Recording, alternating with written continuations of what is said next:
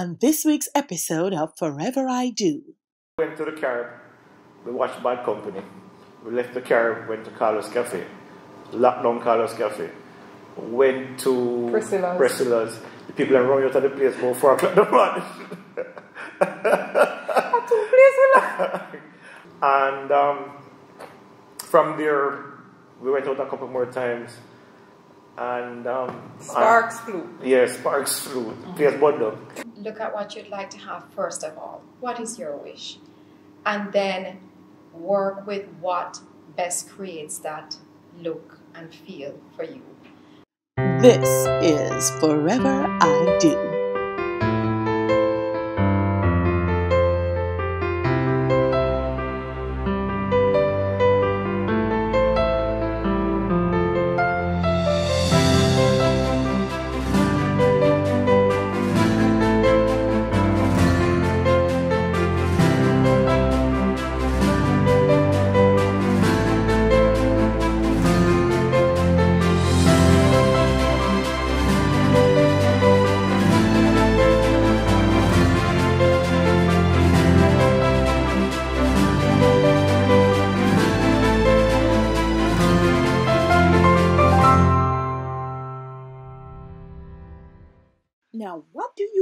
When you cross a Man U supporter with a Liverpool fan?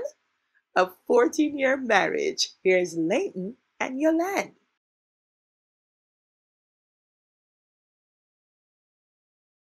Okay. All right, let me start the story.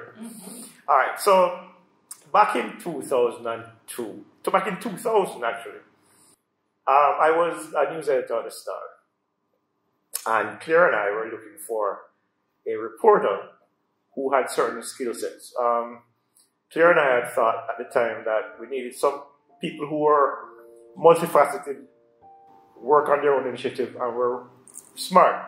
We needed, we needed to build a team of really smart reporters, which I think we accomplished. Anyway, so we did an interview with one Yolande Gyles, and she was quite impressive.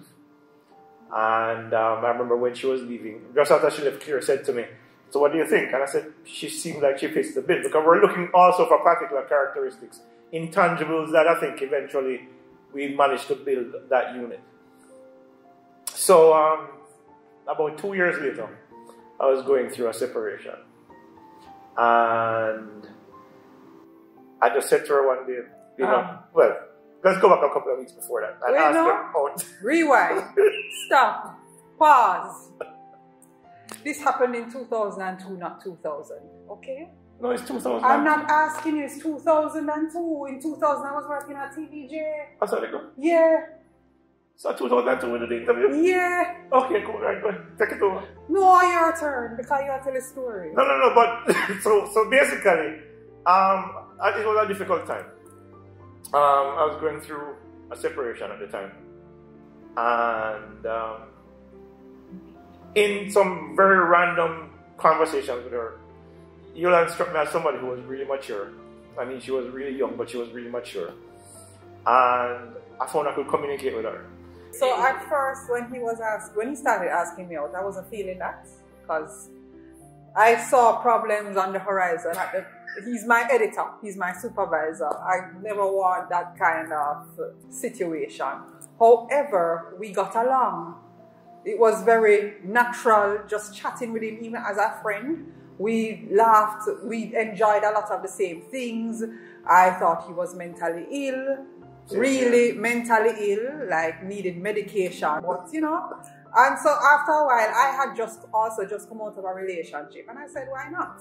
What? What's you don't have to like him, and you don't have to date. Suppose it, you go out on the one date and it don't work out. That's a pro- that's not a problem.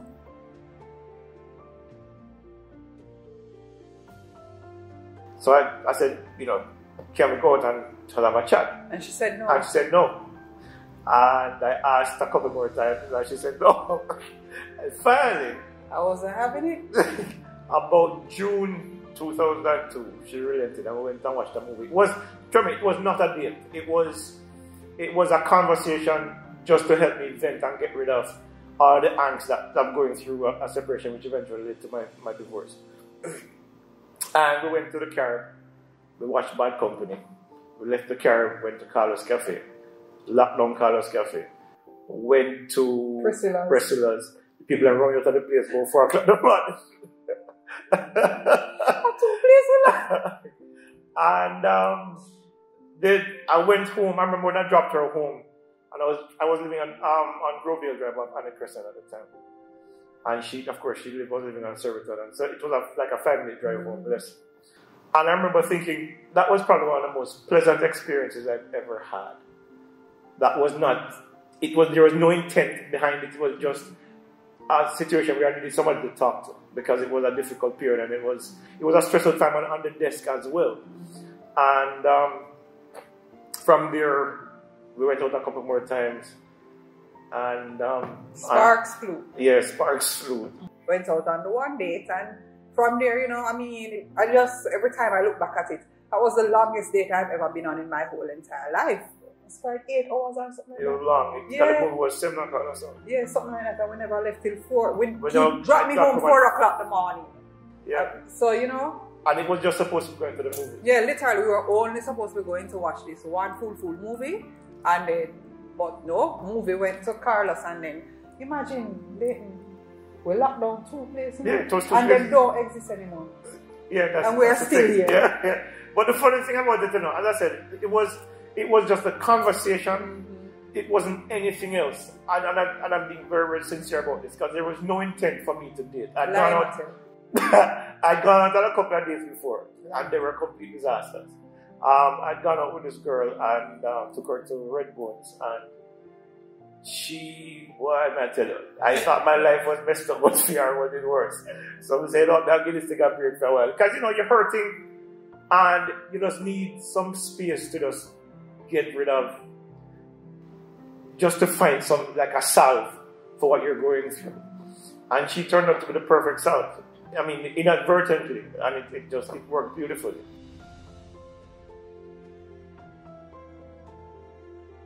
I remember I was being sent on a course for managing editors in Virginia.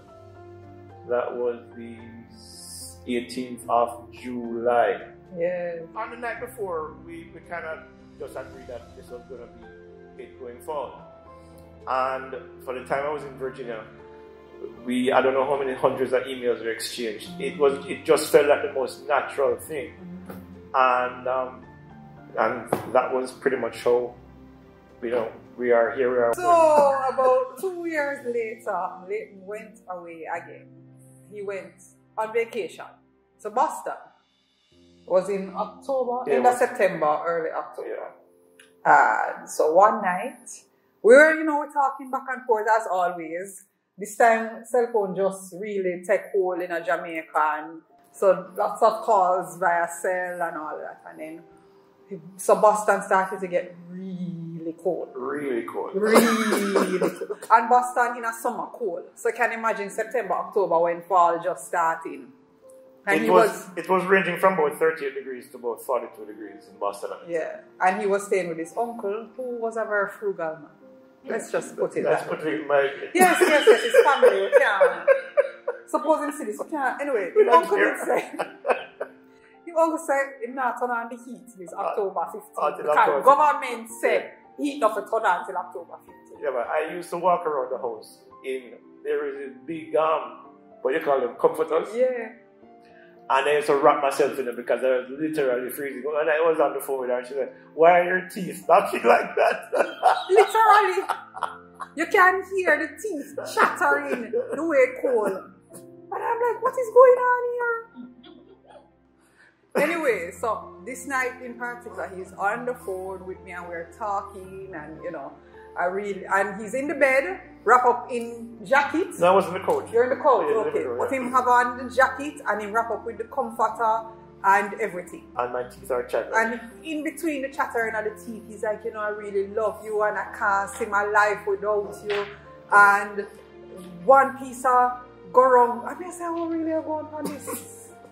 And he's like, you know, honestly, I know, you know, I, I, I know I said I probably wouldn't do this again. And after what I'd been through with my first marriage, but you just seem right. And I can't see my life without you. And I want us to get married. I'm saying, wait there. I said, I said, what did you say? Yeah, then just have to go over that I said, yeah. I said, I don't have a problem with it, but you have to talk to my father. And so Yeah, I came back to he Jamaica. came back to Jamaica, and after much prodding, I had a talk with her parents.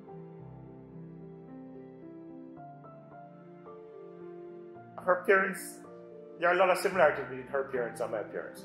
Her mother, former principal, my mother, former vice principal, they both went to Charlotte Teachers College. There are a lot in common.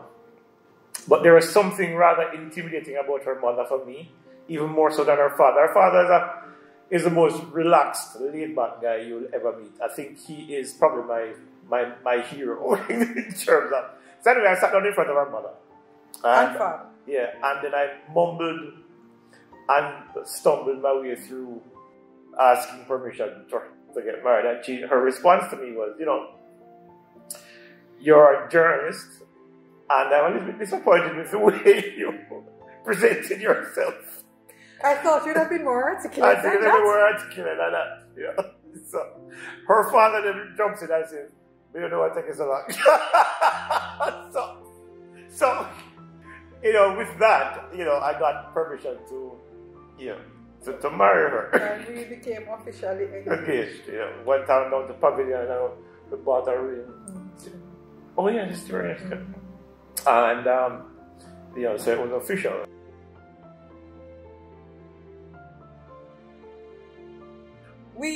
Between that time, so this is about 2004, 2005, Leighton got a job in St. Martin. So he had to leave Jamaica.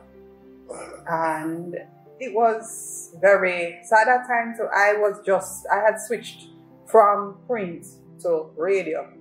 Nationwide, right? And I was at Nationwide and I started producing and I'm really enjoying this job. But the intention was always Leighton goes to St. Martin first and then I go join him. I'm really loving my job. I wasn't sure about this joining him thing. Yeah, that a- And my parents, my father was like, listen, you made a promise. If you decide you're going, you're sent to the man and this was a plan, you have to go. Because I'd gotten a job for her and everything. You know. Yeah, but I He was just waiting because if the guy called me and said, So when the lady come in? And I was like, this I had Christmas before I went to St. Martin and just a journey there. My bag lost. Yeah, back went to. Me, me, me end up and spend Wait. night at Puerto Rico because me miss a flight and Yeah, but listen me, them. listen me. I was over St. Martin before we reached, right? So I don't know about this going. And so I spent that Christmas with him. I don't know about this coming here to leave and all. Anyway, fine. With a heavy heart, I packed my bags and I went and joined him in St. Martin. So we in St. Martin and I'm like, Leighton, the wedding, we need to plan what's going on. We need to set a date, what's going on. Boy, let's stay here and make some money first and we can use that money to. I said, okay. Yeah, because we didn't know. We, we saved up a lot of money. Yes, yes. Uh, Which yes. eventually we didn't Yes, even spend because yes. we sat down one day and said, Why are we spending so much money on a wedding? And because we, were- we had, you know, we had an expansive guest list. Yes, enough people. hundred odd people, Yeah. all kind of different things. And then we said, Jesus, look on the budget. Like, yo. So we came to the conclusion, let's find somewhere in Jamaica that can do everything. And then for a fraction of the cost. so Well, before, we, we, before I reach this up, all right, go on. right? Because I have to get this off my chest. okay. so, we're there now. Um, when is the date? We need to set a date. What's happening with the date? When are we? And in the fun, oh, I don't know, and we need to find a time and all. Yeah, when is this time? Okay, so December is out of the question because I got married in December the last time, so we definitely say, yeah, me not married in the same month with you married the first one. All right, how about summer? No, summer this and summer that. While all of this is going on, me see news back and forth from Jamaica. And next thing see say, Beenie Man and D'Angel engaged. And I say, what you say? I'm date set. And I say, what you say? And a Man and D'Angel must have just meet the Christmas before and she do one steamfish female kind of something. I know she have a ring and date set. No, look here, my head sheep. I say, no, no, no, no, no. How? How a Man and D'Angel are married before me? How that happen? How that happen? And me work so hard? No, no, no. You know how much steamfish me give? No, no, no. Mm-mm-mm-mm. So, we agreed to a date. After I went on and I ranted and raved and carried on, and he said, okay, fine. Part of the problem was that they were Mhm, meant Hear this now. Part of the problem. no, no. no. Part of the issue was this. getting in and out of St. Martin is a chore. Huh? You have to get a, a, a re-entry document, and it's it's it's bureaucracy like you never believe. So that was part of my worry going there because first of all, when she came to St. Martin in the first place, there was a time before you got your, your documents. Yeah, before I was legally able Yeah. to work. So, you know, it, it takes a while. So my worry was ensuring that her paperwork was okay and mine was, mine, mine, mine was pretty much okay from I got there. But the challenge was just to ensure that there would be no challenges getting out of St. Martin and then coming back in. That was part of the concern that I had. And of course, I was trying to find the right time in terms of, you know, making sure that everything was okay. That being said, we are finally agreed on Thanksgiving, US Thanksgiving weekend, because that would be the time that my family could come in and everybody, that would be the, the easiest and best time for all of Plus, us. I invited a couple of friends from overseas. Right. and that, that would probably be the best time for Right. them to come. Eventually, we had pared down the guest list, by the way, Yeah. to about 30 So people. here is here is a tip for people getting married. Destination wedding. Right? No matter if you live at Kingston, don't have a wedding at Kingston because then everybody can come. So that means that enough people are gonna come and something. And you have to go feed all of them. Destination wedding, the people that love you the most Are the ones who are will the show ones up. who will show up because them have to go find them own a hotel and them own a this and them own a that. And we managed to pare that down. We got married in Negril, did everything at the hotel. Nice hotel, Negril Escape. They, they, did, they, they did everything. They did everything All we, for did, us. all we did was a show and get on the money, and that was it. Yeah, and So yeah. all of the stress that goes with preparing for a wedding. The only stress that we had was on the wedding day when I was late because I was staying at a separate hotel. yes, people And came late from our wedding. traffic.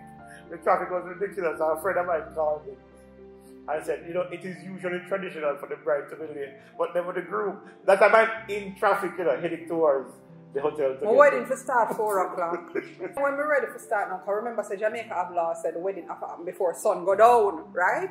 And with and Negril we there, you know, so we don't want sun go down and all these things. My wedding don't happen. And me there, they know, and everybody. Well, I go there, she have a glass of scotch hand. Yeah, because they I'm were telling me my wedding can't start because my mother-in-law don't reach yet. I mean, say, oh, that affect me. She have her wedding already. My turn. She make, she make, she make, she So make. they had to give me some scotch and put me in a seat. Yes. And then, and then it was, it was after that. It was, it was probably one of the most beautiful, probably the most beautiful moment of my life. Um, Next to your child being born. Yeah, next to Chase being born. But notwithstanding that, the thing is, the, me being late allowed the wedding to unfold to the point where when we're just about when we're finished, the sun was setting mm-hmm. and it was slightly overcast. So this, there was this sunshine sunlight coming through the dark clouds. It was beautiful and it, it worked out perfectly. The, the moment for me at the wedding, I don't think I've ever mentioned this to, to Yolande before, was after we completed the ceremony, which was itself interesting because the pastor was was a very interesting fellow. Her mother came over to me and she hugged me and she said, "A son at last." And that for me, I had to step away for a while because tears started to come. A bad man don't cry. Yeah. and that was the moment when I really felt like, yeah, I'm officially a part of the Gyles family. And that was that was the the moment for me in our wedding. I mean, I mean the, the, the wedding itself was great. Um, watching her walk up with her dad in a I love the wedding dress, her hair, she had cut her hair down low at the time. and it was just it was a powerful thing just watching her come through with her father, who I have a tremendous amount of respect for. The people who were closest to were all there. Well, mostly mm-hmm. because that one some some people couldn't make it because of extenuating circumstances. But I think there were like thirty people there eventually. people who mattered to us, and the occasion was just so poignant and beautiful, and um, and the setting was just right. You know, it was right on this, the edge of this, this the shore.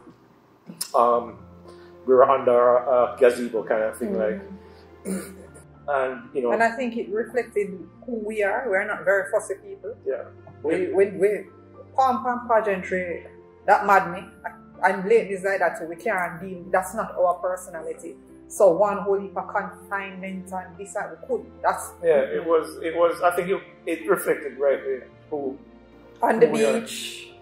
very relaxed, very yeah, and not a lot of not a lot of fussy. We don't do fussy. We are Yeah. never that type of people. So it was it was great. It was just you know it's a you know a lot of men struggle to remember their wedding anniversaries. I have never struggled with it. Hello. Seriously. I've never struggled with it. And she can become honest with it. But seriously, because um it's it was one of these, look, when you live long enough in this life, you start to realize the things that are really important. And up to that point, there were not that many things that resonated that way with me. That was perhaps one of the one or two moments before that that were that said, okay, this is one of the things that you, you have done right in your life. Because I've, I've made a lot of mistakes. Everybody knows that. Um, but this was one of the moments where you said to yourself, if you should die tomorrow morning or die tonight, this would be the one thing that you would have gotten right. And, um, you know, so far it's proven to be the case. Still to come, Because if you are both alike, then you'd have a boring existence. Yeah. So And you have you have to celebrate the differences Right, and it's the differences that make it beautiful. that make it beautiful. So Imagine a big, big, proper, proper Manchester United supporter. married to Liverpool. Married to a Liverpool man. But first, we talk to Dr. Paulette Tai Chun Hussman of Tai Flora Luxe, the go to partners for destination weddings and events. I did my master's in botany, and in between doing my master's and my PhD, I started. I couldn't find a job, so I started working for a farm in St. Ann that grew roses for export. So hmm. my entry into the business was in agriculture. I was on the farm producing flowers, and then later on trying to assist other farmers to produce very high quality product to export and the farm started having too much product and so they were dumping quite a bit. And then i met my husband who was in the hotel industry and he said why are you dumping? We need flowers in, in the hotels so we really started out by delivering one bunch of orchids to a hotel. And then they asked us can you do bouquets? And i said of course yes. I didn't know quite how but we researched and we tried and we delivered our first wedding bouquet 20 years ago and we have grown ever since. We do have a lot of requests for roses. We always try to bring in and orchids are also a very big um, big flower for weddings as well. But we try to bring in and capture different colors and different textures.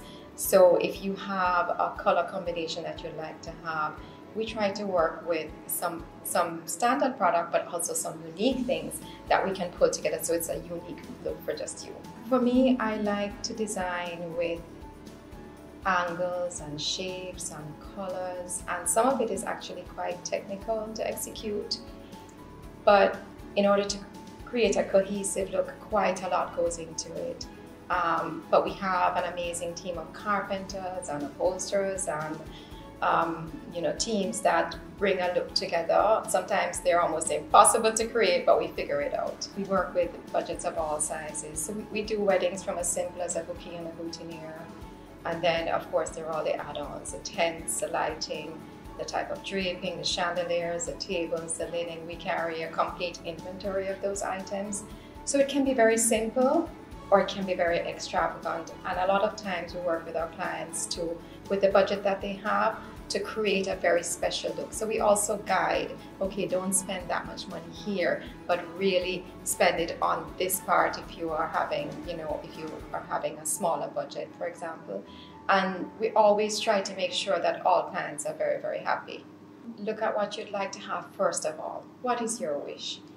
And then work with what best creates that look and feel for you. Um, sometimes the simplest weddings are the most beautiful. So it really depends, and we can guide you very carefully to say, you know, create this look, use this backdrop, use this chair, and add some stunning elements for a very, you know, for a smaller budget to create still a very beautiful and amazing look for you. We um, pride ourselves on being able to source almost any flower from wherever in the world you'd like to have it. So we say to our clients, really just let us know what you'd like to have, and we do the hard work of getting it into the island and making sure it's fresh and perfect for your wedding day. We probably have on the island one of the largest inventory of event and decor items. Um, we custom make our own linen. We have seamstresses that will stitch anything for you. So you can select whatever color pattern you'd like to have. And our seamstresses who are amazing can do this overnight. Sometimes we're asked to do that. So they're very fast. Um, so we like to encourage you to customize, especially for linen. We carry a wide inventory of chairs, um, tents, um, different style draping and chandeliers um, lighting accessories as well, anything that you need to create a complete look for your event, we have it in stock. And if we don't, then we try to get it for you to make sure that you can have what you want on the day. We like to actually do weddings that are off-site and in very remote locations and just to sort of help clients to scope out that very special spot and we do offer that service because Jamaica has so many amazing locations that are not always featured and a lot of clients do want something that's unique uh, to them. So we work island-wide and there are beautiful locations island-wide and um, if you want to have an off-site location, we can definitely create that for you with ease. We have wonderful partners that do catering and we can pull the entire team together so that on the day off it's a seamless.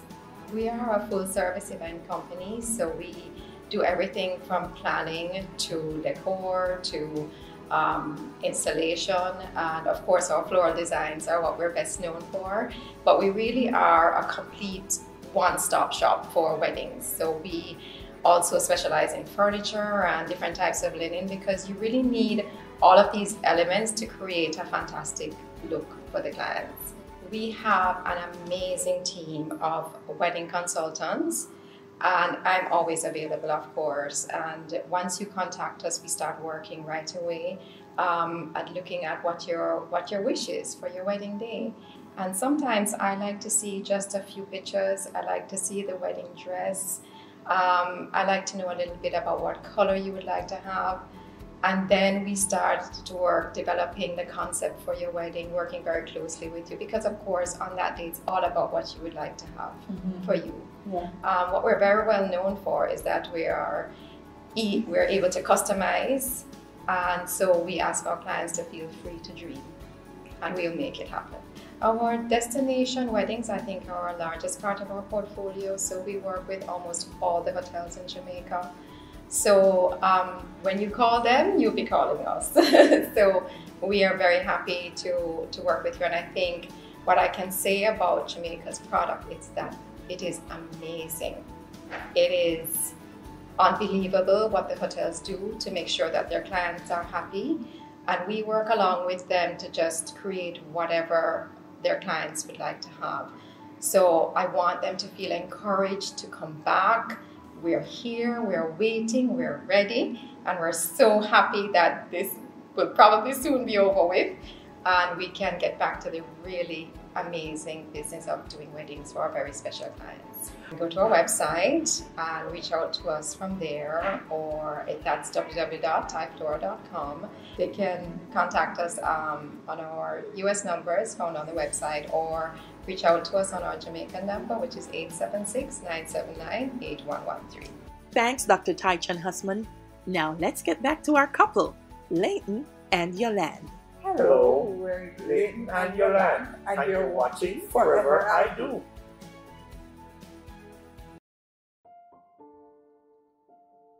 Leighton is an open book. What you see is what you get. And Leighton, one of the things that I think I love most about Leighton is that he has never changed.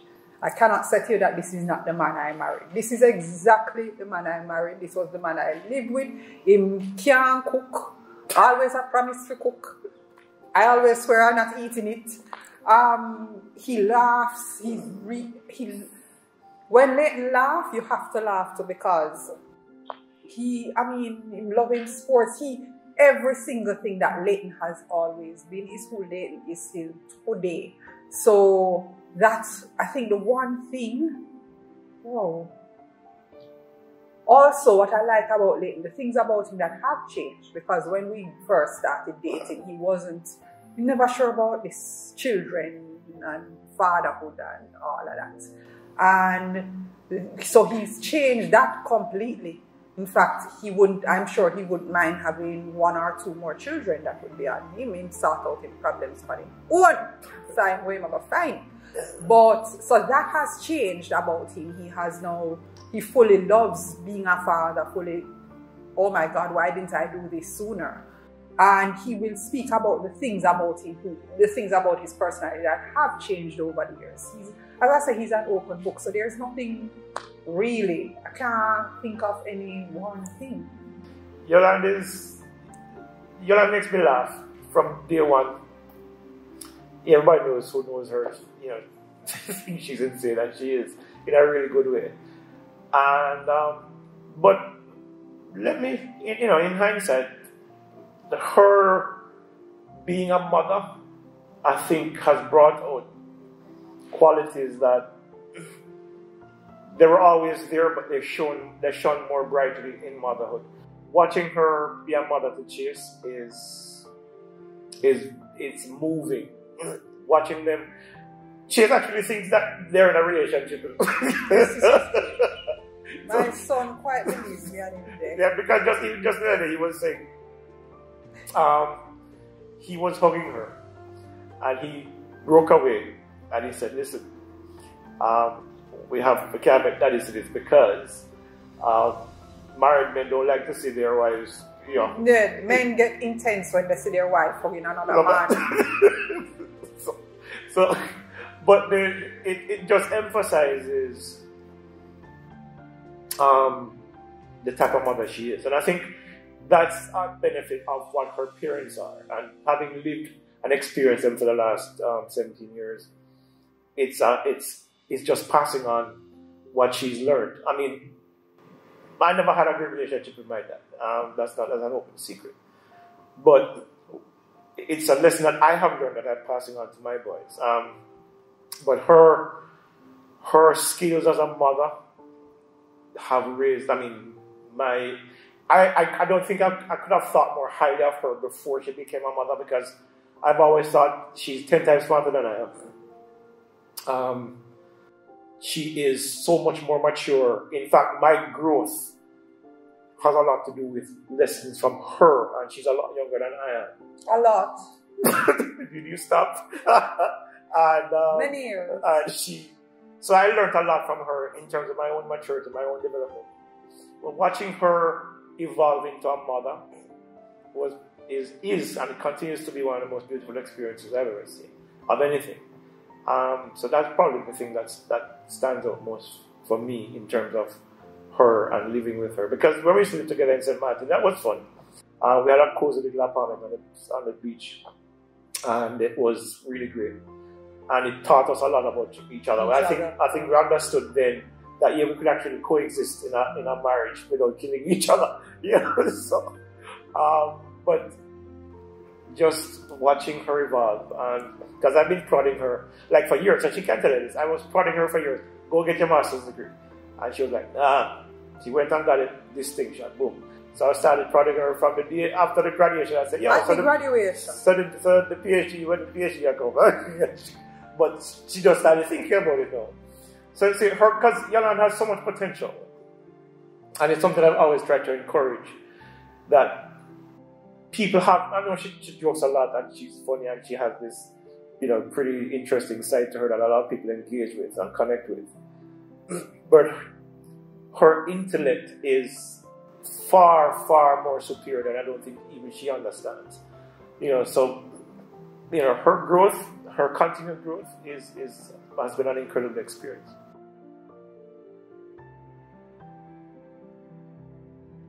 I think you need to realize that every day is not going to be roses and oh I love you. There are going to be many days and you're still there.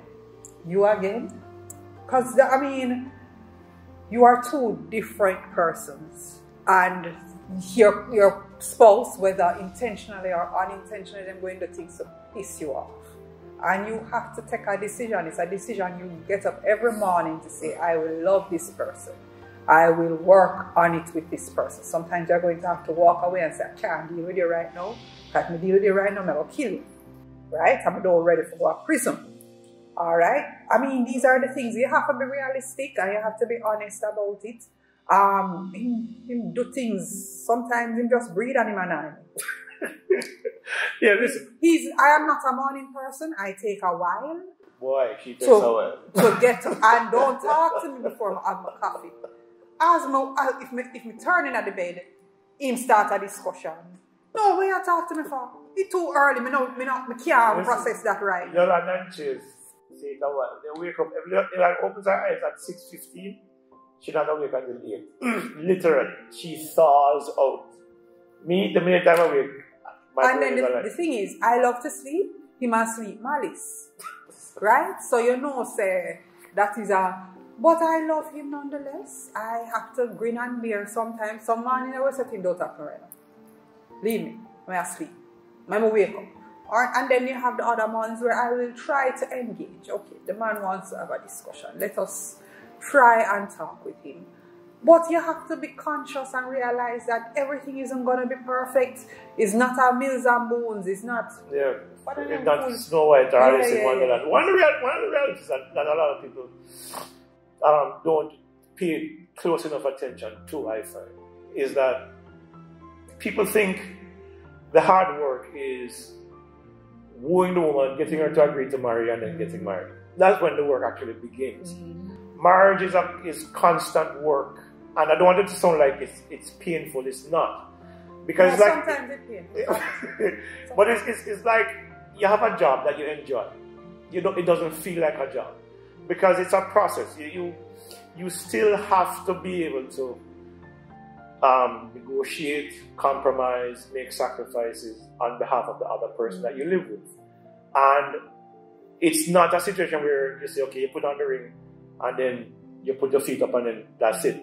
That's the mistake that a lot of people make. And we live in a world now where I think we're we become so selfish, Yeah. where people think only about me and what I want. Um, yeah, if you if you have going to have a successful marriage, you have to start thinking about the we, uh, how that works in the collective of the family, how it works in the collective of just being able to give your partner the space, but the support that they need for them to then reciprocate.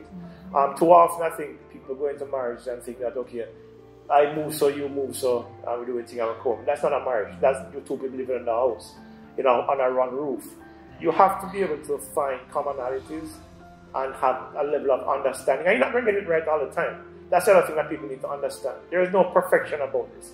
Marriage is a process.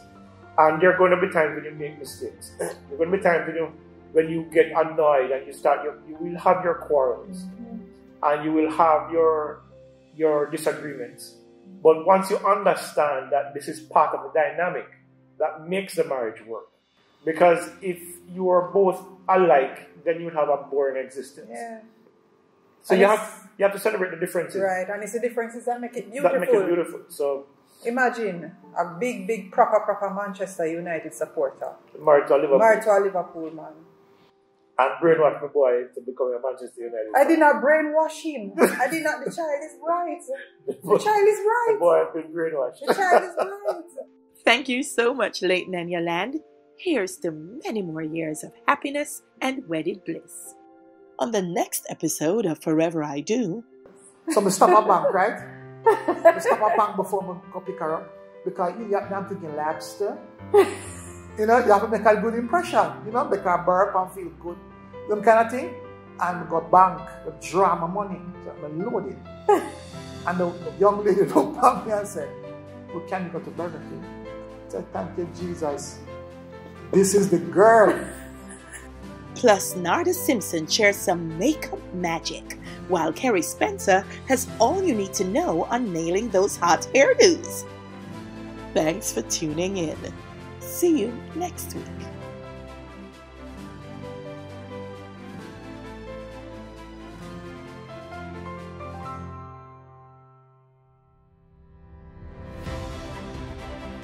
Makeup services by Nardine Makeup. Coordination and planning Shakima Hines of Island Bride, Jamaica. Set Decor, Tai Flora Luxe. Forever I Do is filmed on location at the Jamaica Pegasus Hotel, your wedding destination in Kingston, Jamaica.